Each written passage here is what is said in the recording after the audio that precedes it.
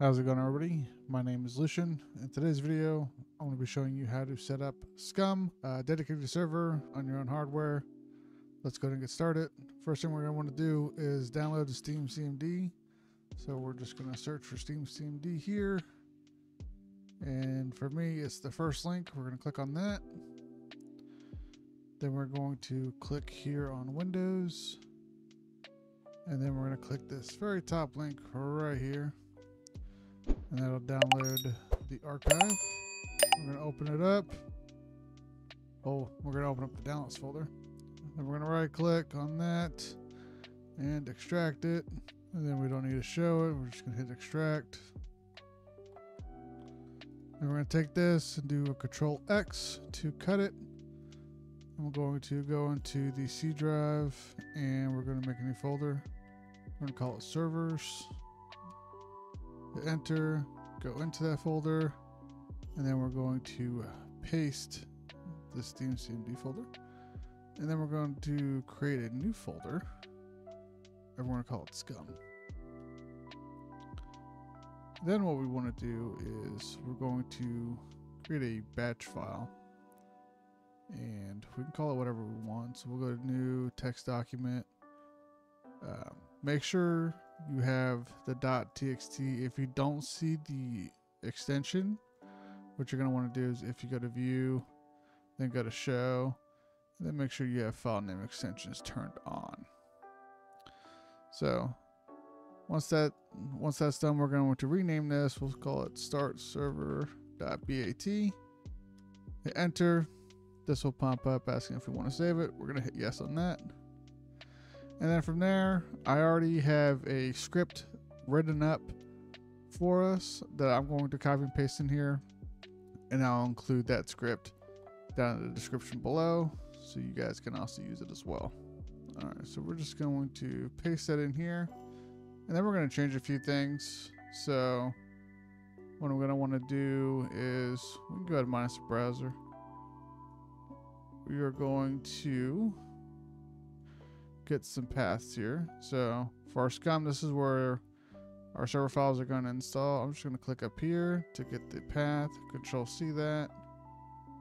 And then for the Steam path right here, the server path. I'm sorry, we're going to do the installation path. Not the equal sign, there we go. Alright, so that's going to be where the game installs at. And then we need the path for the Steam CMD. So we'll go back here, go back to servers, Steam CMD. We're going to highlight that, copy it, and then we're going to paste that right here. And then for this part, we're going to basically take this right here and just replace it where it says up to your just like that.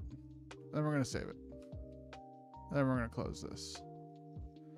Now, before we run this, there's a couple things we're going to need. We're going to need DirectX and all the redistributed files. So if you're running this on a server, um, like I am, you're not going to have this stuff pre-installed. However, if you're running this on your home computer, you probably already have all this stuff installed and you can go ahead and run the bat file. But if you don't, let's open up the browser again real quick. And we're going to type in DirectX. And then we're going to click this link right here to download DirectX. My language is English, so I'm going to click on download. Next thing we're going to need is the redistributed files for C++, which we can get right here for uh, Tech Power Up. We're just going to click this link right here. And then we're going to click download right here. And this will download the zip file. Click whatever uh, server or mirror you're going to want.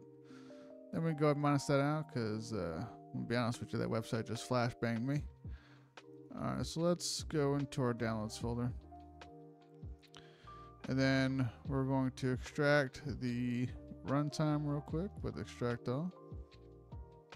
And we'll go ahead and show. Let this extract real quick. All right, and then the install.bat, we're going to right click and run that as administrator. Then hit yes. Then we're just gonna wait for all these to install real quick. All right, now that that's done, we're going to want to install the DirectX. We're gonna hit yes on this. And then we're just going to follow the prompts. And we don't want to install the Bing bar. And then we're gonna wait for this to install. All right, while that's installing, let's go ahead and open up the port in our firewall. So we're going to hit the search, hit, uh, hit the start bar, and type in firewall. I'm gonna click on advanced here. All right, once that's open, we're going to go to inbound rules, click new rule, we're gonna click on port. We're gonna hit next. TCP, do 7779. Hit next, next, and then next, leaving all those settings as default. We'll just call it uh 7779 TCP.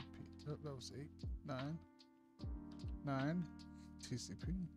We're gonna finish. Then we're gonna do that one more time for UDP. I don't know if it requires UDP or not, or if it requires TCP or not. It doesn't say, so we're just gonna open them both up for now. And if I find out later, then I'll just leave a note in a pinned comment. I'm gonna call this one UDP, again leaving all those other settings as default. And hitting finish, and then both those ports are done, and we're done with the firewall. And we're still waiting for DirectX to finish, so we're going to go ahead and wait on that. Alright, now that's uh, finished, we're going to click on finish, close that one, we're going to go back to our server folder here, and we are going to, I don't know why I put this in here, we're actually going to like to put that in, in the actual scum folder here.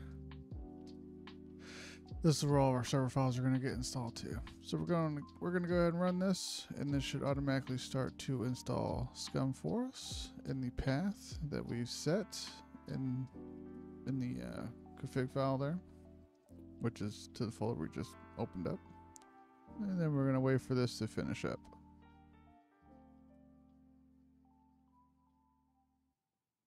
All right, and once it's done installing, the server will automatically start up and you may or may not get this little pop up. If you do get it, just hit allow.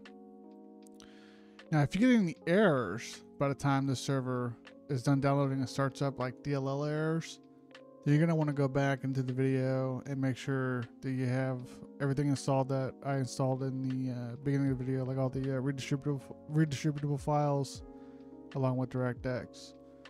If we can, if we can hit spacebar on that, that'll close it out. Now, the server's running, uh, well, it's booting up, and then all of our files are right here.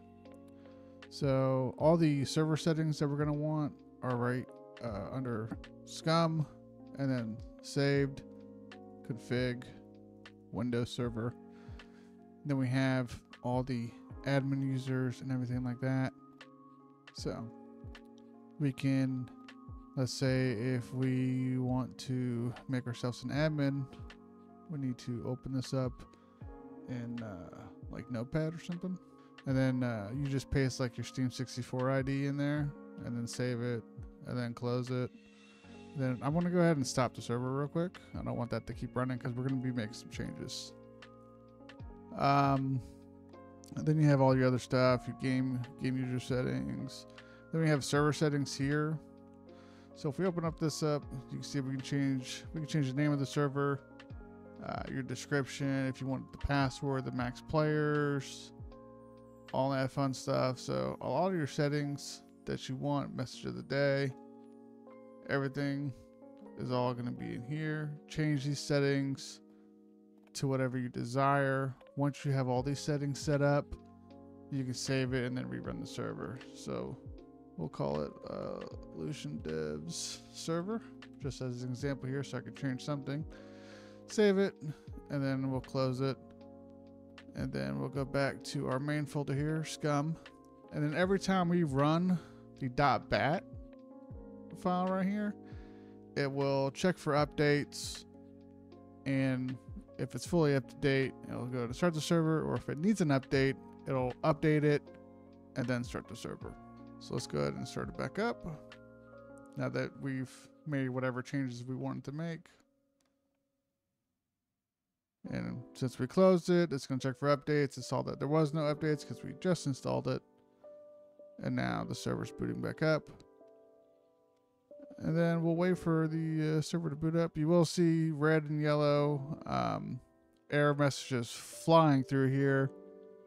Uh, nothing to be super duper worried about. Um, when I tested this out before I made before you know, before I'm recording the video, uh, everything was still working fine. Uh, so no uh, no major issues or anything like that.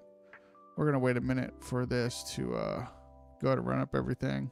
So while this is starting up, one thing I do want to point out, um, if you're running this locally, in order to connect to it, the easiest way is just direct connect to your server.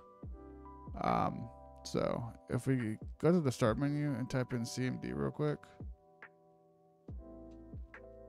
and then if we type in ipconfig, since I use IPv, IPv4 addressing, this is what uh, my local IP address is. So this is what I'm going to want to use to connect to the server. Uh, however, if you're, let's say you're renting a Windows server, like a VPS or something, uh, you'd use the public IP address. So you wouldn't be using the local, you'd be using the public. But if you're hosting it on your own on your own network, you know, let's say you're hosting it on a on a extra computer that you have just sitting around somewhere, um, you're going to want to use the local IP address, which is which which you can find just by typing in ipconfig. So remember that IP address because we're going to be using that to actually connect to the server. All right, so once you see this message right here, uh, your server is should be uh, up and running. So we're to go ahead and launch the game and connect to the server. All right, now that the game is open, we're to click on multiplayer.